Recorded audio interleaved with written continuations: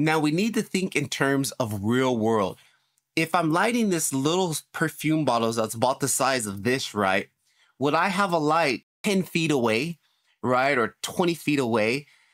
So in reality, you got to remember this distance is in meters. So this thing is pretty far away, right? So what I would do in real life, I have a light here that's literally less than it's an arm length away from me. Like I can literally grab my light. It's an arm length away from me, right? So in reality, I would probably light that the same way. I would have a light really close to it. Why have the light way on the other side of the room and the product's here? You're going to be blasting light, right? So uh, you got to think in real world, like how would you really light this in the real world? I would have all my distances way closer. So I'm going to take my distance.